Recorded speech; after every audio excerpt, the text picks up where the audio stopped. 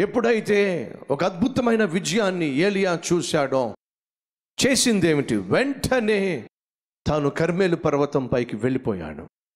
విజయాన్ని చూసినటువంటి ఏలియా విజయ గర్వంతోనో విజయ దరహాసంతోనో ప్రజల ఎదుట కూర్చొని నా గురించి ప్రజలు ఏమనుకుంటున్నారు నేను చేసిన ఈ అద్భుతాన్ని గురించి ప్రజలు ఏమని తలస్తున్నారు? వాళ్ళతో కాలక్షేపం చేయలా? వాళ్ళ మధ్య వాళ్ళ యొక్క ఒపీనియన్ ఏమిటో తీసుకునే ప్రయత్నం చేయలా. ఎప్పుడైతే దేవుడు ఏలియా ద్వారా తన మహాకృపను చూపించి అద్భుతం జరిగించాడో ఏలియా చేసింది ఏంటో తెలుసా? తొందరగా దేవుని దగ్గరికి వెళ్ళిపోయాడు. విజయాలు సాధిస్తున్న సహోదరి సహోదరులు ఆ విజయం ఏ విషయంలోనైనా కావచ్చు.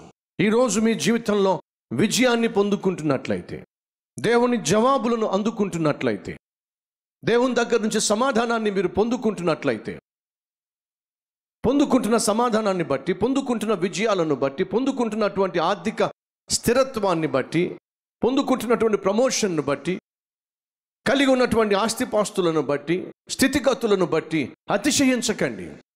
బైబిల్ సెలవిస్తుంది అతిశయించువాడు ప్రభువునందు అతిశయించాలి.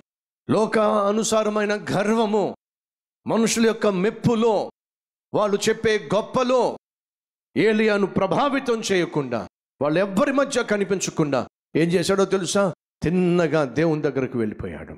జార్జ్ విట్ఫీల్డ్ అనేటటువంటి ఒక అద్భుతమైనటువంటి యవన ప్రాయంలోనే గొప్ప సువార్థికుడిగా పేరు సంపాదించాడు.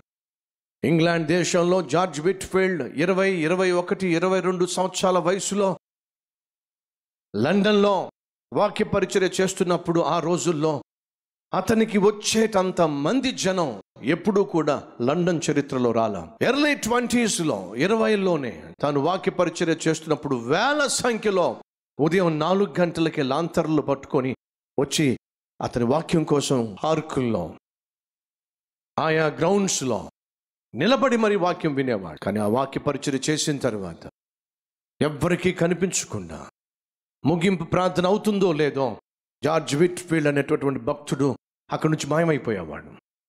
కారణం తెలుసా? మనుషులు ఎక్కడ తనను పొగిడి పాడు చేస్తారేమో అని చెప్పి. మనుషులు ఎక్కడ తన గురించి గొప్పలు చెప్పి తనకు లేనిపోని గర్వాన్ని తీసుకొస్తారేమో అని చెప్పి. వాళ్ళు చెప్పే గొప్పల కన్నా నాకున్న దీనత్వాన్ని కాపాడుకోవడం ముఖ్యం. వారు నా గురించి చెప్పేటటువంటి ఘనమైన విషయాల కన్నా నేను నా దేవుని సన్నిధిలో దీనునిగా జీవించటం ప్రాముఖ్యం. ఈ రోజుల్లో అటువంటి మనసు మనలో ఎంతమందికి ఉంది? నా గురించి నలుగురు ఏమనుకుంటున్నారో తెలుసుకోవాలి. మంచి విషయాలు వినాలి. గొప్పలు చెప్తే పొంగిపోవాలి. దానికోసం ప్రాకులాడాలి. దయచేసి గమనించండి. ఒక వ్యక్తి హెచ్చించుకుంటేనే పడగొట్టబడ్డం ఈజీ అవుతుంది. భూమి మీద ఉన్నవాడిని పడేయడం అంత సులభం కాదండి. ఎగిరి ఎగిరి పడేవాడు పడేయడం ఈజీ. ఏలియా ఎంత అద్భుతమైన ఆత్మీయుడో తెలుసా? ఒక మహా అద్భుతం జరిగింది. మూడున్నర సంవత్సరాలుగా వర్షం లేదు. దొంగ ప్రవక్తలు నమ్ముకొని వారి యొక్క సిద్ధాంతాలను విశ్వసించి ప్రజలు ఆఖరికి కరువు కోరల్లో చిక్కుకుపోయారు. అటువంటి సమయంలో సవాలు చేసి దేవుని యొక్క మహాశక్తిని ఆకాశము నుంచి అగ్ని రూపంలో కురిపించి దేవుడు యహోవాయే అని నిరూపించేశాడు. నిరూపించి ఏం చేశాడో తెలుసా? చిన్నగా కర్మేలు పర్వతానికి వెళ్ళి మోకాల మీద పడిపోయాడు. ఎంత అద్భుతమైన దీనత్వం కలవాడు. మనుషుల యొక్క గొప్పలు మనుషుల యొక్క పొగడ్తలు మనలను నాశనం చేయకుండా ఉండాలంటే వాటికి ఎంత దూరంగా ఉంటే అంత మంచిది. తనను తాను హెచ్చించుకొని వాడేమవుతాడట? తగ్గించబడతాడు. తనను తాను తగ్గించుకొని వాడేమవుతాడట?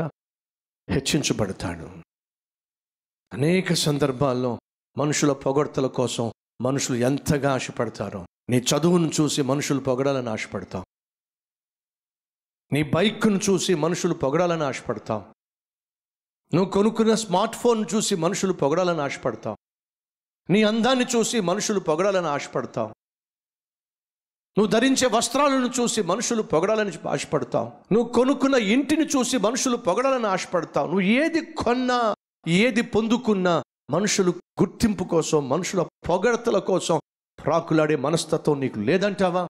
మనుషులు లేదో అబ్బురుపరచడానికి ఆశ్చర్యపరచడానికి వాళ్ళ ద్వారా మెప్పును పొందుకోవడానికి నువ్వు ఏది కొన్నా ఆనందించలేవు ఆస్వాదించలేవు.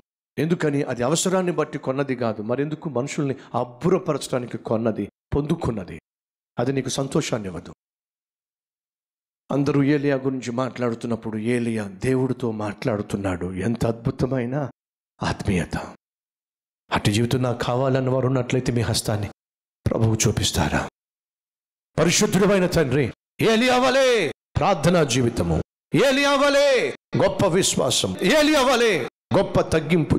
తత్వము గొప్ప సాత్వికము నాకు మాకు దయచేసి ఫలితముగా మా కుటుంబాల మీద నీ ఆశీర్వాదం వర్షించాలి. మా గ్రామం మీద నీ ఆశీర్వాదం వర్షించాలి. మా సంఘం మీద నీ ఆశీర్వాదం వర్షించాలి. మా దేశం మీద నీ ఆశీర్వాదపు వర్షము వర్షించాలి. అట్టి ఆత్మీయత మాకు దయచేయమని. ఏసునామం పేరట వేడుకుంటున్నాం తండ్రి. ఆమెన్.